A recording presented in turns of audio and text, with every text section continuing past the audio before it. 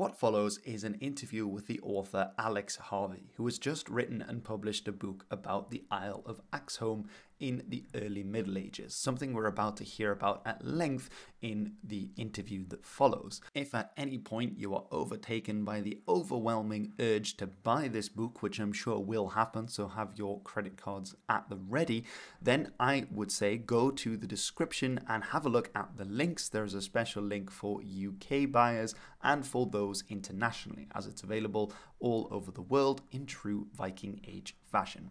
In any case, I very much hope you enjoyed this video and the interview with Alex. Welcome, everyone. Uh, as you can tell, today I am not alone. I am, in fact, joined by this very handsome young man in front of us. And... Hello there. Oh, perfect. Kenobi. And as you can see, we are going to be talking about his new book, which is very exciting. This is Alex Harvey. Alex, how are you doing? I'm very well. Thanks for having me on, Hilbert, my friend.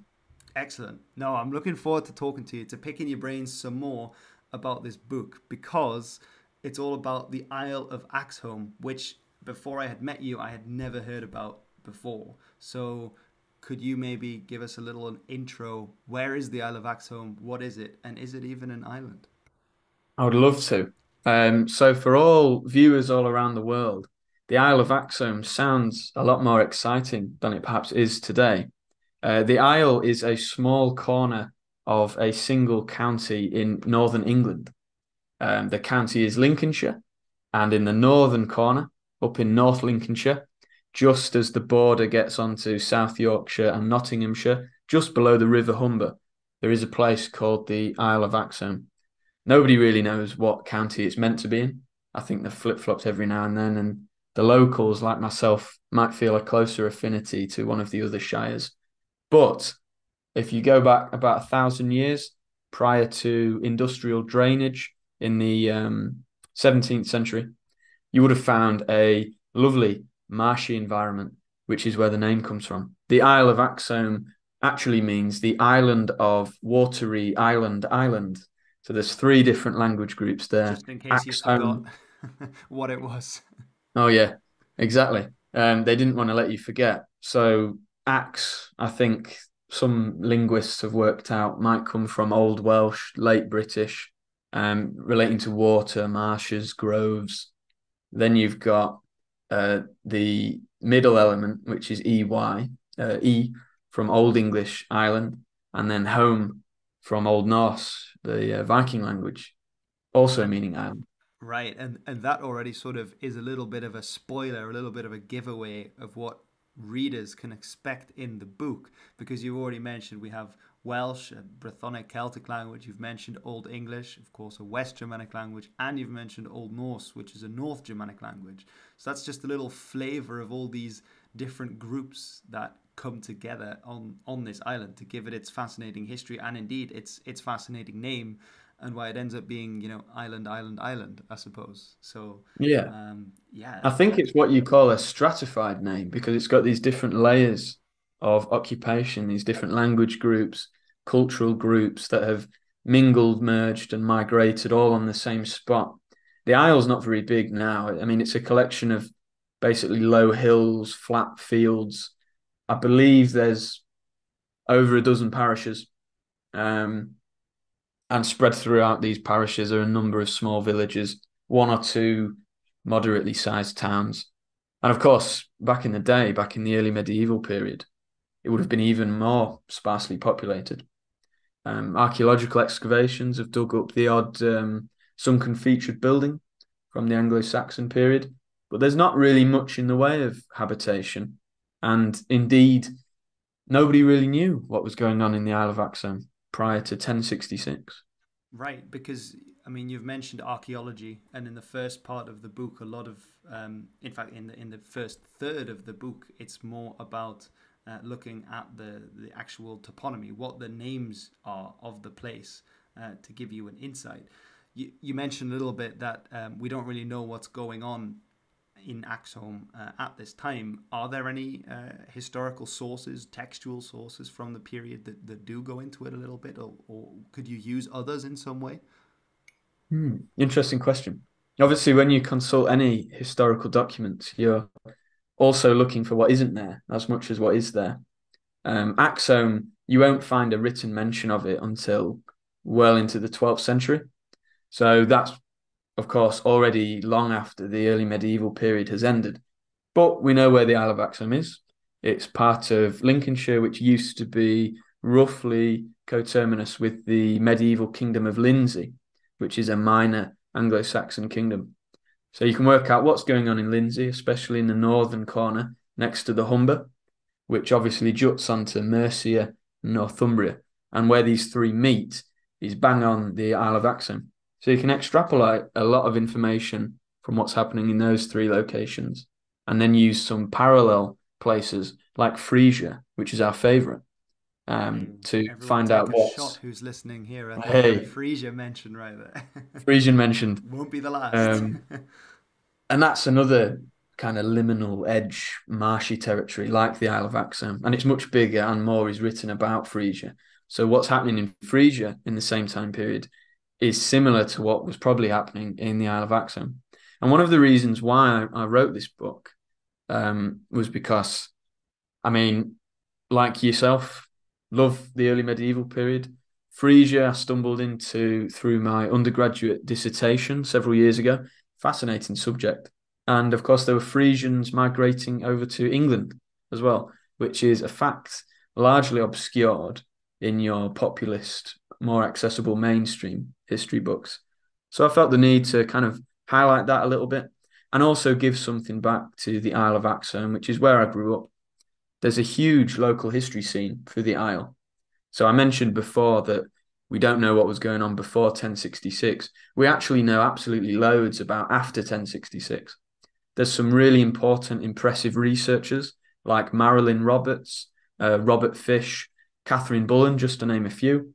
And they've written books, uh, PhD theses, reports, newspaper articles, all investigating the post Norman history of the Isle, because that's really well documented. You've got royal families like the Mowbrays, you've got Cornelius Vermuyden, who was a Dutch um, irrigator in the 17th century who changed the Isle from an isle into what it is today, which is flat, kind of canal split land. And then, obviously, one of the more famous characters from the Isle of Axholme is John Wesley, who founded Methodism, which is a branch of Christianity. So the last thousand years of the Isle of Axholme are really well documented. And across all of these really good history books, they might have an introductory footnote or two, or maybe a prologue that briefly mentions what we know, what we don't know about pre 1066. But it's only like a paragraph, maybe a sentence or two. And I've written 347 pages on it. so there's definitely much more to say.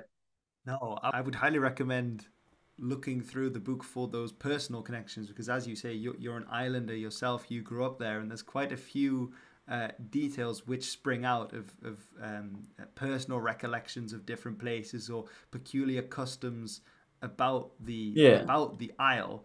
Um, I was actually curious about that. There's one in particular which you're probably anticipating already. Yeah. But um, Here we go. what exactly is Haxey Hood and, and what goes on there?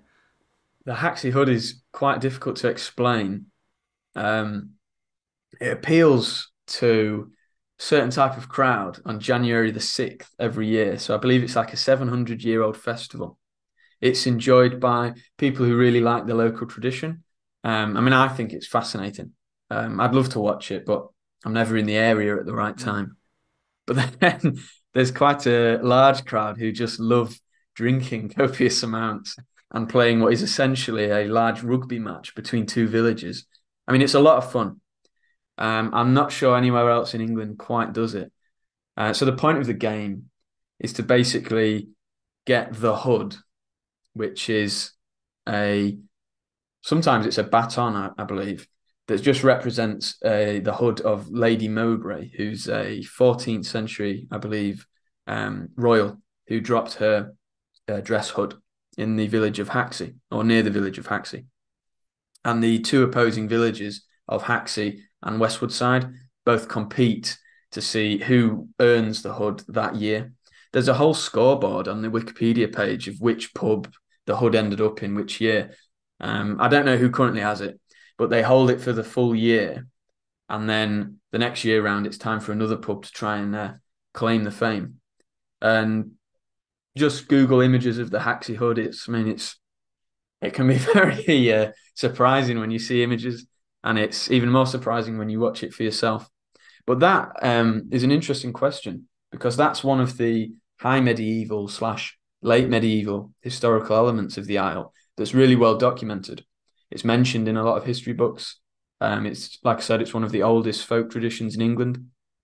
Uh, writing in the 1800s, uh, Miss Mabel Peacock wrote for the Epworth Bells, which is one of the local papers, that she believed the Haxey Hood didn't originate in the 14th century at all.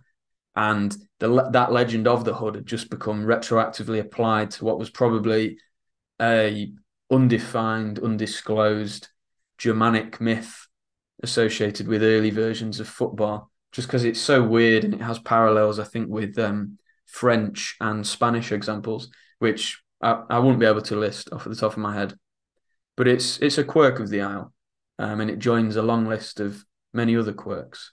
I tried to write the book in a way that was celebratory of the Isle as a place today, but also with a bit of whimsy, a bit of sarcasm. Because, um, you know, I, I grew up there. There's some things about the Isle that are probably worth poking fun at, bit friendly banter.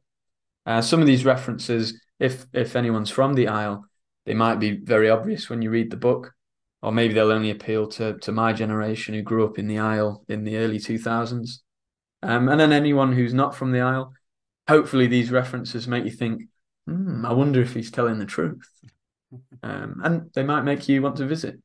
There's an Anglo Saxon cross shaft that's definitely worth looking at. I did not expect that little segment to end with an, Anglo Saxon cross shaft, but uh, there we go. I mean, it definitely made me interested to come and visit and to see what it's actually all about, this place. To refocus a little bit on, on the history, um, could you perhaps take us through from, in, in broad strokes, from the early history? I believe there's a, a Roman presence already with some weirdly, I, I had this image of sort of Star Wars Endor like walkways. Maybe you could tell us a little bit about that, and then yeah. tell about the the Normans, 1066, the harrowing of the North. Could you could you go through that?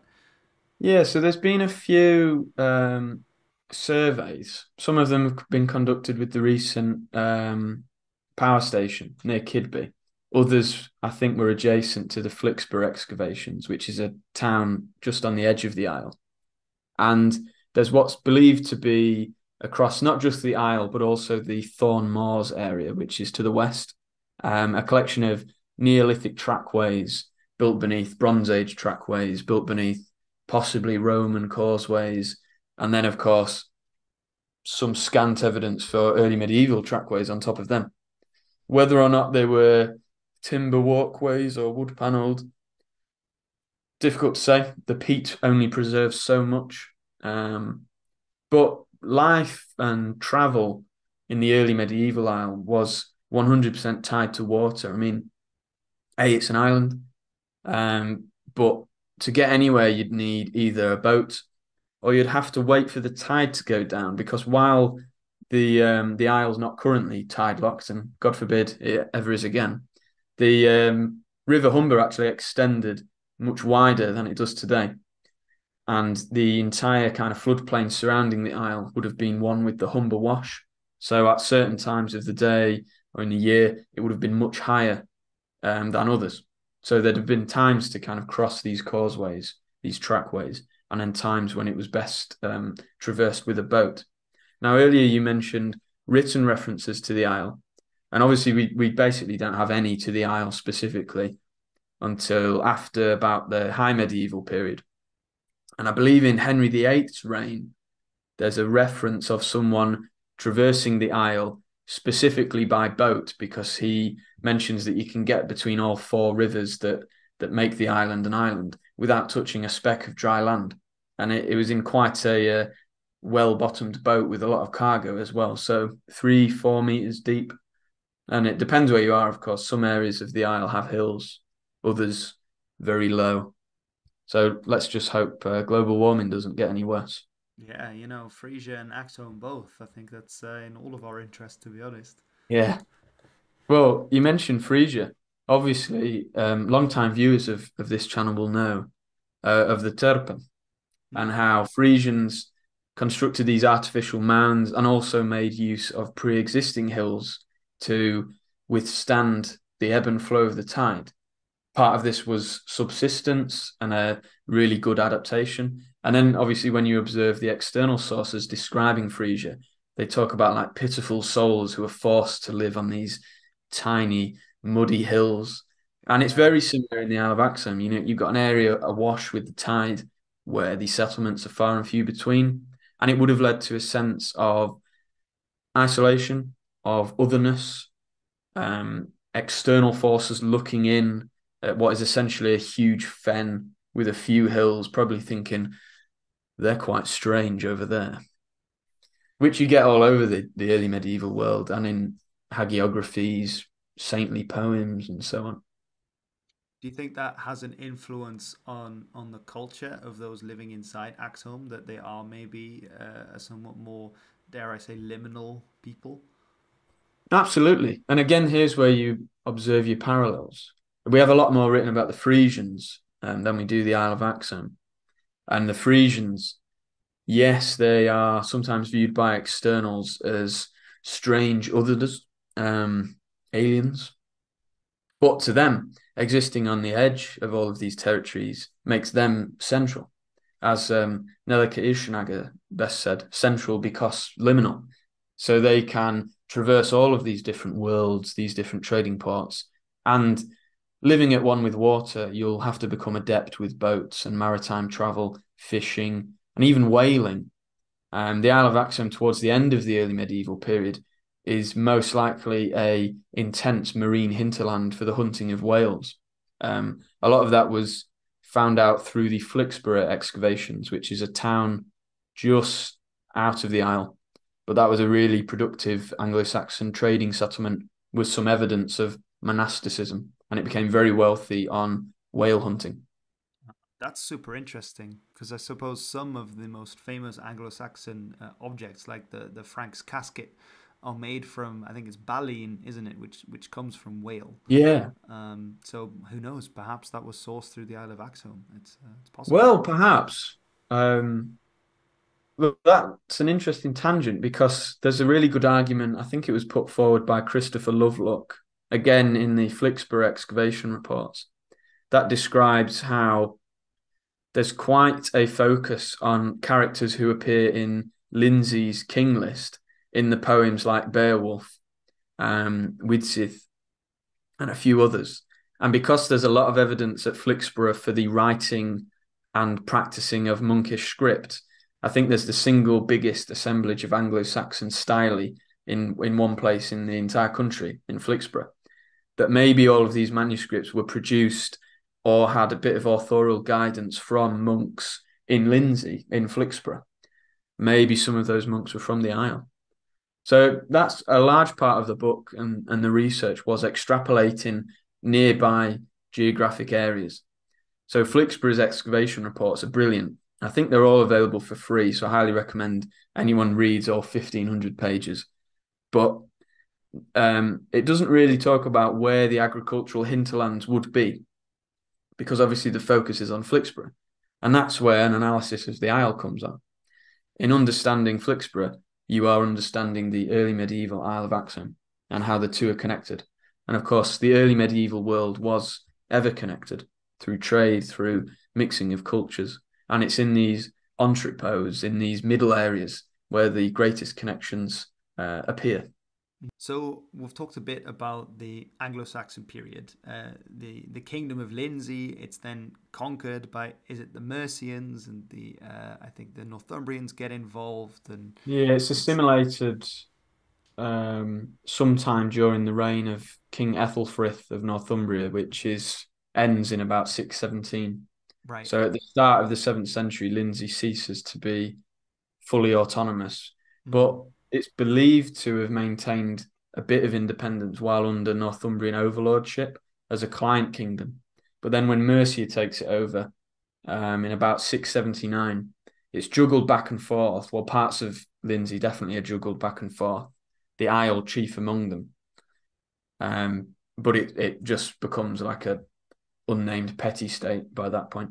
Right. And I think it just becomes seen as part of Northumbria or part of Mercia.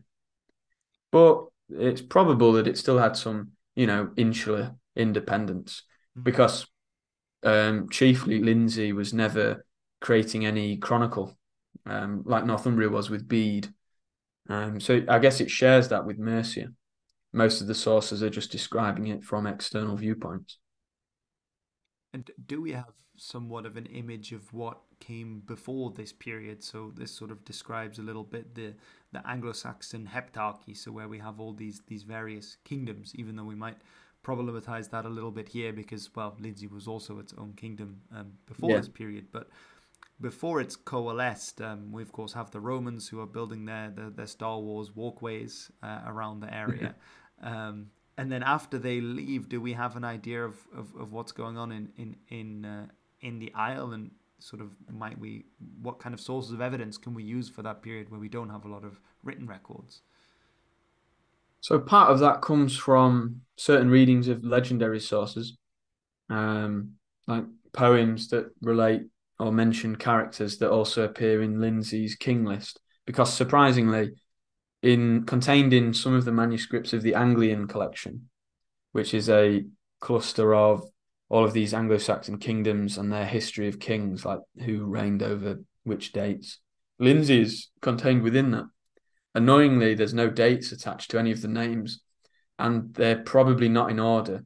They kind of appear in alliterative um, duos. So I'm, I'm probably making the names up, but it's like Beda Bubbing, followed by Bubba Biscoping, um, Bubba the kin of Biscop, uh, Biscop the kin of Beda. It's a little um, bit Forrest Gump, isn't it, with Bubba? Or, yeah. I don't know. Yeah. but yeah, but it sounds nice, and obviously when you were speaking that out loud in the mead hall, describing who ruled over this kingdom, um, it's got a nice flair to it. Whether or not it's accurate in the right order, whether or not any or some of these people are even real, difficult to say. Um, some of the earlier names or the names that first appear on the list also appear in Beowulf, in the Finnsburg fragment, in the Lament of Deor, in uh, which are all these migration period epics and poems that were written down obviously much later towards the end of the early medieval period, but their rhythm and their style is uh, believed by most scholars to be of much earlier origin. I don't know why I'm telling you, you're the expert on this as well. You'll know much more about these poems than me. Um, but crisscrossing throughout all these works are characters like Finn, the kin of Folkwold, uh, Winta Wodening, um, Giet, and they all appear in the Lindsey genealogy. Um, what does that tell us? Were these people real? Mm, don't know. I wouldn't say so. They're kind of like idealized folk heroes or really cool ancestors. So the fact that they appear in the Lindsey ancestral list uh, tells me that either the writers of Lindsey who wrote their portion of the list, or more likely whoever was writing about Lindsey, saw to it that, yeah, they like those ancestors. They have a certain affinity with these ancestors. And why is that? Well, you know, numerous theories can be launched from that starting point. But it all leads again to these trans North Sea connections linking Lincolnshire almost as a frontier zone with Sweden, with Frisia, with Denmark. Hmm. I mean, you say, what, why am I explaining this? But I think it's a, a very important point to explain because I think a lot of people that maybe haven't looked at the early Middle Ages so much, they know, okay, what does a historian do? Um, they, they look at texts.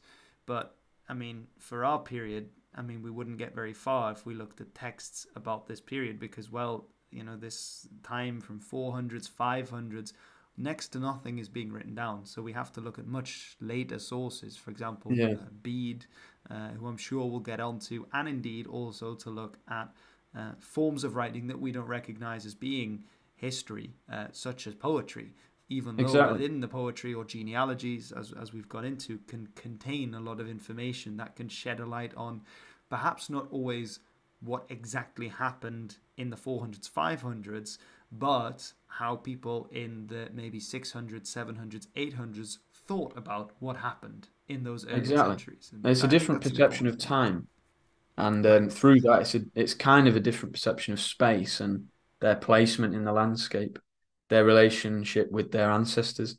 Did they think their ancestors were long dead? Did they lament over the cooler, you know, good old days? No, back back when times were nice. Or did they think of the past as this weird, untamed, legendary time with dragons and trolls? Um, Or, or three or all four the of those at once, perhaps. Exactly, or all of them. Yeah. And everyone would have had their own opinion. Um, so we're really dealing with kind of fragments, whatever's written down. Mm. But you do raise a very interesting point, and part of the reason why this book was so fun to write and so challenging yet rewarding is because of the nature of the early medieval period, especially when you're dealing with an area that has next to no written information. You have to go interdisciplinary. So you can't just consult the archaeology because for a lot of people that can be very dry. Not for me. I'm an archaeologist. I love different layers of clay, different colors. But some people will already be asleep, drooling on the keyboard at the mere mention of that. Um, so you can't just pottery. focus on the seems to do the archaeology. trick, eh? Hey, won't be slagging off pottery in my in my ears, but you get the archaeology, which forms the foundation. It's the physical evidence. Um, I believe I used the phrase "the meat and gravy of history." It's the You bone. do. Yeah. Yeah, definitely. you see where my allegiances lie. But then above archaeology, you need that historical context, that framework, which comes from the study of the text, as you say. But texts are riddled with biases, especially for our period. They're coming from all number of opposing viewpoints. Some of them are just made up, but they contain like the odd sentence that, hey, hold on, this one might be uh, this one might be real. And then to even analyze the language, the sentence structure, the linguistics, you have to consult the the lingo, the toponymy, the place names. So the book is structured in reverse order from what I just said. It starts with the places and names, then it goes on to the chronicles, the kings, the important events that affected this period, and the legends associated with it. And then to ground all that together, you've got the archaeology um, like metal detected finds. Well, the ones that were reported anyway. I'm sure there are loads more currently undocumented. Um, and then sites nearby or within the Isle that can build up that context even wider. And then I married all three of those disciplines for the final chapter. That's a very long chronological overview from pre-Roman, just about all the way up to just after the Norman conquest. And that is, you know, the fun of the early medieval period um, for me. I had a lovely chat with author Max Adams about this, who's who's much more famous than I am. Um, but we now. both share that affinity for um, this marriage of different sources of information and how rewarding that can be. And Um, so do you, of course. Yeah, except uh, I'm nowhere near published. Um, but Max Adams, I mean, he he has written uh, King in the North before the Jon Snow hype. I, w- I would like to add, um, and uh, a recent book on on, on Roman Britain, um, as, as well as a few others. So he's very much looking at this uh, this time period indeed. And I remember sitting down with him quite a few years ago, and he said. Uh, and indeed, his books all begin first with the physical geography. He says you've really got to get into that physical geography before you Absolutely. can begin to understand anything about the history. And that's what I really liked about Riddles of the Isle is that you begin with looking at the place names. Most history books would begin with your second chapter, would begin with what can we tell from textual sources because that's how historians are trained. That's the that's what historians do. They look at the texts, they try and construct these narratives. But because you've actually started with the place names, we get a completely different view, a different light shining on various peoples, various cultures, various events that are not talked about in the sources. And as we've discussed, the, the written sources are really quite lacking, um, both geographically and temporally, for Mm. early medieval Isle of Axholme. There's not much writing, or well, no writing going on there uh, on the Isle of Axholme, and there's not many people writing about them either. And so you have to look from multiple perspectives. Um, something I'd like to ask about a little bit are, are the Brythonic uh, speakers uh, in the Isle of Axholme and, and, whether you can tell us a little bit about them um, and perhaps why some more of their place names are, are preserved uh, on the Isle of Axholme as opposed to certain other areas in, in England. I think it all comes down to again the the island nature of, of Axholme. Um, the village I'm from, um, Belton, um, obviously the suffix there, uh, ton, comes from uh, tun, Old English for enclosure, village, settlement, so on. But the prefix bel, um, many people have argued about what that means. Um, there's going to be a brilliant linguistic overview of the Isle coming out. Um, Catherine Bullen, it's her PhD thesis, so that's gonna that's gonna be fascinating. She's got that arcane knowledge that only toponymists have, which the rest of us can only, uh, you know, wish that that we could muster. But uh, for my sake, um, Belton, there's a cluster of place names that all start with the BEL prefix, clearly um, from Brittonic. What does it mean? Is it relating to a long lost landscape feature? That wouldn't surprise me because there's a lot of evidence for forests, um, different courses of rivers, dried lakes through the different layers of peat from uh, peat cutting in and around the Isle. So the landscape has changed significantly. Um, or is it from a person or a deity? Uh, very difficult to say. Obviously, there's a lot of characters that have similar names, like uh, uh, Beli Mawr. Um, forgive me if I'm mispronouncing anything. I think from Old Welsh genealogies. Does he have a link with the uh, Brittonic speakers in the Isle of Axholme? Um, does he have a link elsewhere, you know, uh, east of Wales? Most likely. Um, and then you get onto some of the more physical aspects. Um, so there are, uh, to use Belton again as an example, there's a really cool Brittonic torc that was found on the Portable Antiquities Scheme. Um, but in the discussion for the object, it's made in what's kind of like a native slash late Roman style. I'm paraphrasing, but it's clearly been then tampered with um, and changed shape, maybe being given a new purpose by maybe a, perhaps a different migrating cultural group that has different ideas on how to dress, and right. so they are. Or perhaps the same one. Uh, sorry, if I may jump in. Yeah. Perhaps the, uh, the same culture from which it was made who are suddenly changing their own fashion to fit something that's more current. Uh, exactly. Depending on how you want to view that period, of course. But very interesting find. Well, I'm I'm very much in the camp that the Dark Ages, to to use that phrase, was a lot more peaceful than it seems by reading the text, which is obviously why you go into the lingo um, and the objects. Um, and a, a, great discussion in the book um, kind of goes into who is living on the isle. Um, are these just successive waves of immigration that stamp out all that remained beforehand? Or is this an insular group, you know, with a bit of migration that's changing with the times? They're changing with the prestige model of a new language. They're changing their dress, um, trading different items. There's definitely a big Scandinavian um, element to the place names when you get into the ninth century. Um, and one of the most interesting ways of assessing the Scandinavian impact is again to look at the wider context. So the Great Heathen Army, they invade England in 865. They go up and down the country, and the Anglo-Saxon Chronicle tracks their movements really well.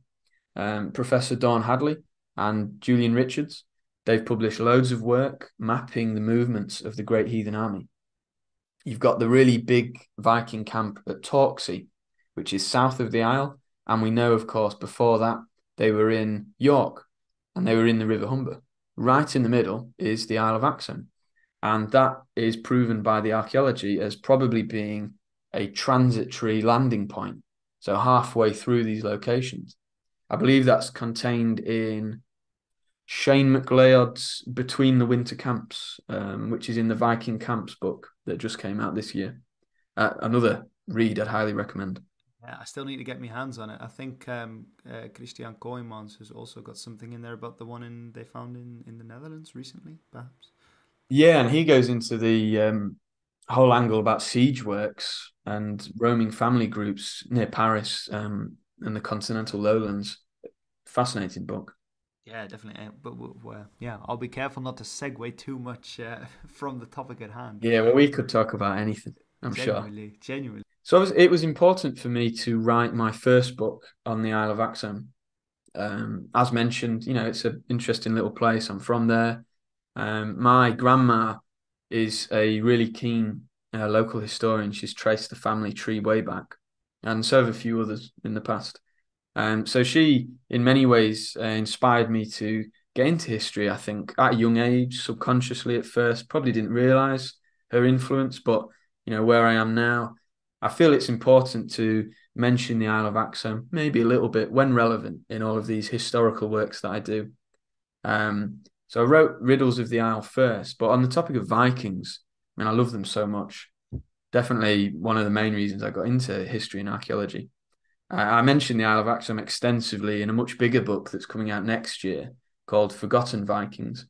So that's going to be published by Amberley. So that that's a much bigger entry, I guess, in the book universe, book verse of uh, all these connected early medieval uh, stories and investigations.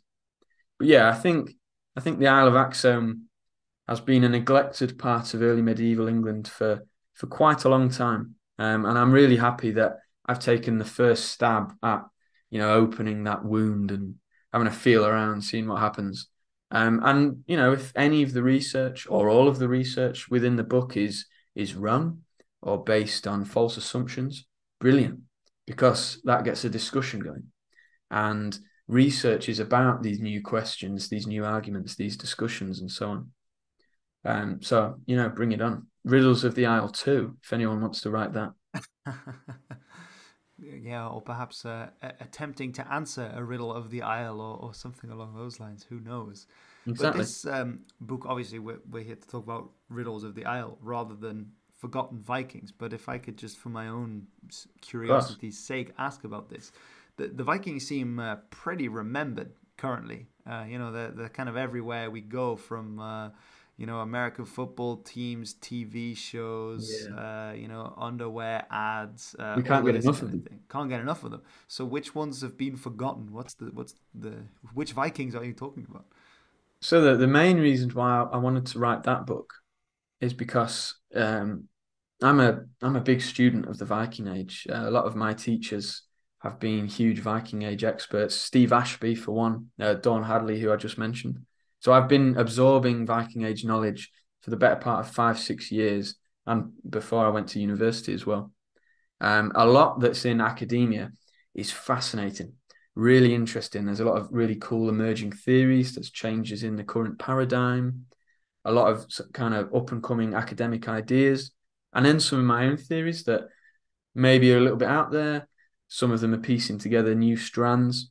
But importantly, you know, not much of that is out in the mainstream. And academia for me and research, um, and I suppose this shows a bit of my museum background, is all about accessibility. It's about sharing and providing this information for everyone so that you can get more research. It's kind of like a snowball effect. The more people that read something, the more ideas that will be had. You'll get a lot of probably silly ideas, but you'll get some good ones as well, some diamonds in the rough. Mm. So, Forgotten Vikings is, I guess, like Riddles of the Isle it's shedding light on some of the lesser known aspects and angles of the Viking Age, looking at it from new perspectives. Um, you and I, you know, people who study this period will probably have heard of most of them, but maybe there'll be some new arguments in there. And then people who are perhaps less familiar, who just read the odd mainstream Viking history book every now and then, but want to know more or get interested in the period, then hopefully, you know, that appeals to them as well. Um, I'm really excited for that one to come out as well because that will be number two. Um, who knows from there? Oh, you and me both. I mean, it, it sounds like a very interesting uh, interesting topic to go into, and uh, I'd love to have you back for another interview when uh, when when you are so far with this uh, with this second. Absolutely. Um, yeah, well. count me in. Yeah, count me absolutely. In. Um, I I love writing. Um, I wrote Riddles of the Isle because I was in the car in March of this year coming back from Chester. Um, and obviously, Chester's got loads of history. So I was inspired. I work in a museum anyway. So I, I, I love history. I love writing, reading about history. And I was lamenting what I should do with my free time outside of work. You can always game, you can practice some hobbies, but you know you want to do a bit something a bit more fulfilling. And my uh, lovely wife said, "Why don't you just write a history book? Stop talking about it. Just write a book." So okay, I will. Um, I remember she actually said um, when I ploughed through like the first draft of the Isle of Axholme book over about two months, she said, "No, well, I meant one that you know might appeal to more people oh. the Isle of Axholme." Yeah, yeah. Um, so then I wrote the Forgotten Vikings one straight after that. Oh, um, so you know, both audiences are covered there. But but writing academically, which I've done through uni, and then writing in a more populist mainstream style, they're very different beasts. I think it's important to marry the two together.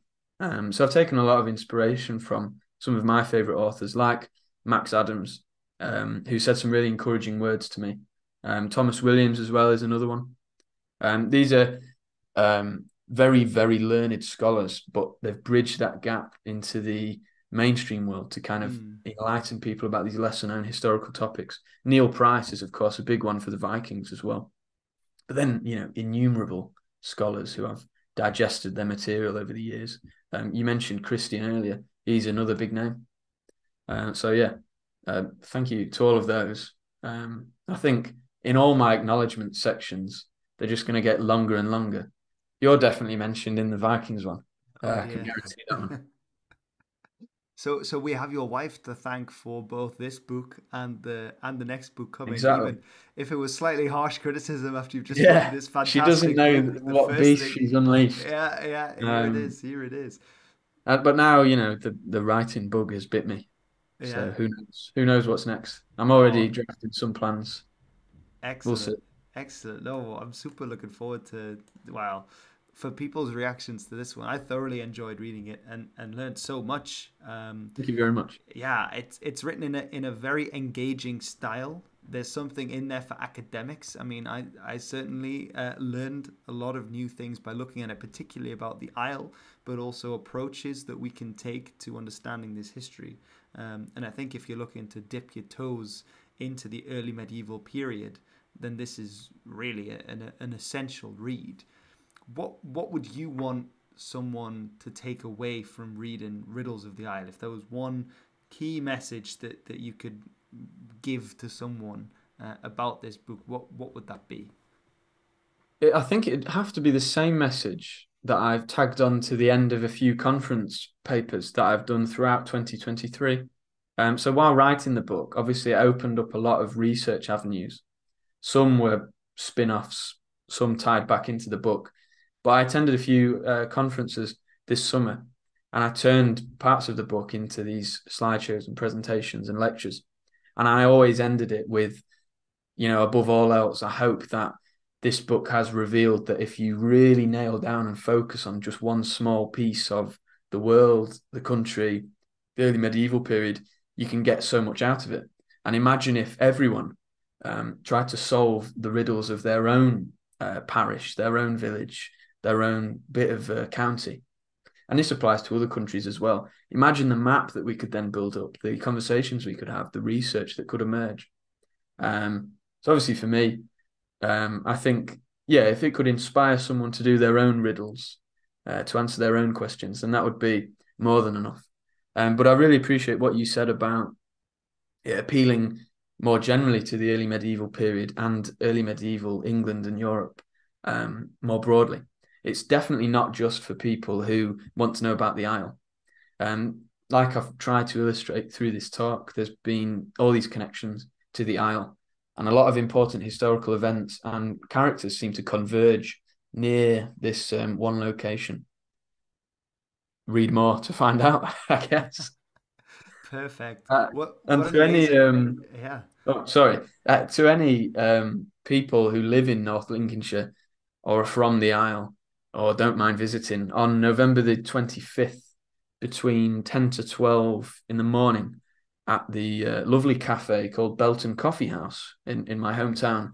There will be a book launch event, probably a few little um, comments from myself, maybe a small lecture, and, and opportunities to, to have your book signed, which sounds surreal to me because I'm I'm a nobody. But no, you know, not anymore. Maybe, maybe they'll be worth something Monday. An ex nobody. You you you well and truly put on the map with this book. So if you're in the in the neighborhood uh, of the uh, of the the sacred isle, then definitely go along. And it was it was Belton Coffee, Coffee House. House. Yeah, yeah, Belton Coffee House on the the 28th of November. 25th. 25th. 25th of November of this. The day uh, Doctor Who comes back. Ah, so okay.